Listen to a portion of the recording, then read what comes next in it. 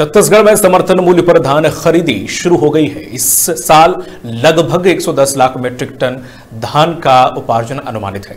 समर्थन मूल्य पर धान बेचने के लिए राज्य में पच्चीस दशमलव सात दो लाख किसान पोर्टल में पंजीयन कराया, जिसमें लगभग इकसठ हज़ार नए किसान हैं।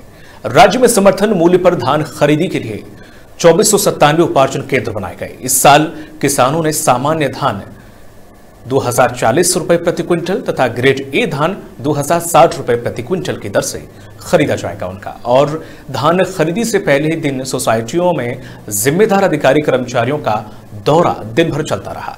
इसी कड़ी में मंगलवार को खाद्य अधिकारी दीपाकर मिश्रा सोसाइटी पहुँचे और उनके साथ अन्य अधिकारी भी मौजूद रहे। उन्होंने धान बेचने आए किसानों से चर्चा भी की। सोसाइटी में लोगों के द्वारा पूजा अर्चना कर धान खरीदी की शुरुआत की गई। इसके अवसर पर किसानों के अलावा समिति प्रबंधक, समिति अध्यक्ष सहित अन्य लोग मौजूद रहे। सहकारी समिति पर पहुँचे खाद्य अधिकारी दीपांकर मिश्रा ने धान खरीदी को लेकर जानकारी भी दी।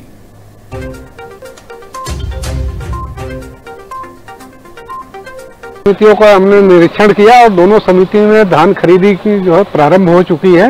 अब तीसरी सोसाइटी में जो है तो रिसामा जो है तो मैं यहाँ से निकल रहा हूँ।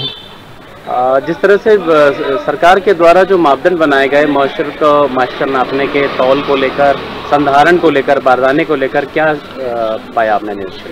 निरीक्षण में पाया कि हमारा जो नियम है जो नीति है उसके अनुसार जो है तो खरीदी चालू कर दी गई है।